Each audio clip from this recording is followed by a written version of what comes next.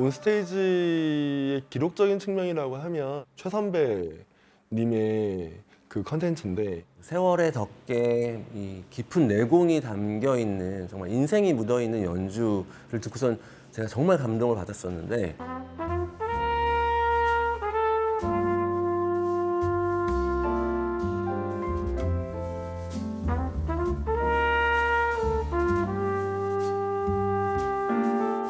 스테이지에 최선배 선생님 영상이 있어서 참 다행이고 행복하다라는 생각이 들었을 정도로 그분이 가지고 계신 음악적 성과나 발자취나 이런 거에 비해서 남아있는 것들이 사실 거의 없거든요. 그래서 그 영상이라도 남아 있어서 다행이다라는 생각이 사실 많이 있습니다. 기록적 가치가 이- 있다고 느껴지는 것은 얼마 전 아쉽게 세상을 떠나신 박성현 선생님 재즈 보컬리스트 박성현 선생님 박성현 선생님 생각이 나요. 이 질문지를 받은 순간 떠오르는 건 솔직히 박성현 선생님이었어요. 재즈 보컬 박성현 씨. 박성현 선생님 영상이 굉장히 기록적으로 가치가 있다고 생각하는데요. But then again, too few to mention.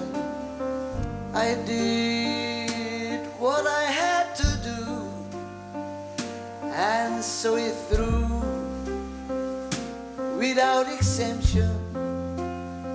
선생님은 아쉽게 돌아가셨지만 그래도 선생님의 영상이 온스테이지를 통해서 계속 후대에게 아, 한국에도 이렇게 멋있는 재즈 보컬리스트가 있었구나 사실 그분이 없었으면 과연 지금 한국 재즈가 어, 이런 정도로 존재할 수 있었을까 싶을 정도 큰 역할을 하신 분이고 그래도 온스테이지에서 이분의 모습을 남겨놓은 게 너무 다행이라는 생각과 함께 되게 감사한 일이고 영광스러운 일이고 복된 일이라는 생각이 들어요. 음악사적으로도 기록적 가치가 크고 그 가치는 아마 더 커질 거예요. instrumental을 위주로 하는 밴드의 영상들이 굉장히 기록적으로 가치가 있다고 생각을 해요. 그래서 프렌즈라든지 이상의날개, 프렐류드 이런 팀들의 영상을 저는 분명히 기록적 가치가 있다고 생각을 하고요. 온스테이지에서 찍은 어떤 그 연주 밴드들 영상은 정말로 기록적으로 가치가 크다라고 봅니다. 자이언티도 전 기억에 남는데요. 자이언티가 세컨 세션이라는 팀이랑 같이 활동을 라이브 활동을 많이 했었어요.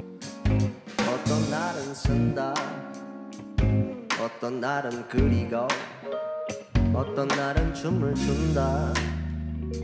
정말 뮤지션 아티스트 간의 시너지 효과가 어떤 건지를 전 그걸 보여줬다고 생각을 하거든요. 정말 그때 그 순간의 에너지를 온스테이지가 정말 잘 담아냈고 그리고 좀 기록으로 남겨져서 저는 좀 굉장히 좀 다행이라고 생각을 하고 있습니다. ABTV나 뭐 이런 팀들은 실은 세계에 내놓아도 우리가 부끄럽지 않을 훌륭한 밴드들이거든요.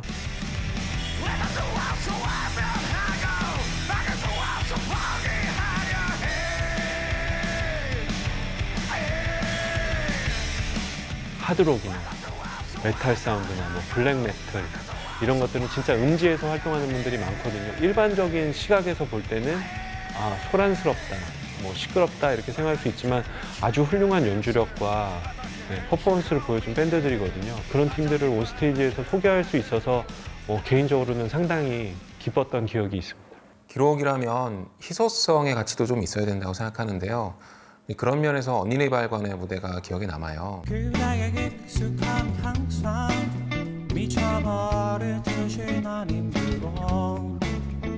언니네 이발관은 해체를 했고 더 이상 활동하지 않죠. 그래서 지금 이제 막 음악을 듣기 시작한 사람들에게 언니네 이발관이 누구냐? 라고 소개를 한다면 먼저 이 영상을 보여주고 싶더라고요. 또 그때 연주했던 아름다운 것들이라는 곡은 이성원 씨 본인이 자신의 곡 중에 하나만 꼽으라면 이거다라고 공언한 바가 있기 때문에 더 가치가 있지 않을까 생각합니다. 어브 프로젝트가 어, 거의 90년대 활동을 하고 한참 뒤에 새로운 음반을 냈을 때 그때 온 스테이지에서 영상을 찍었던 게 있더라고요.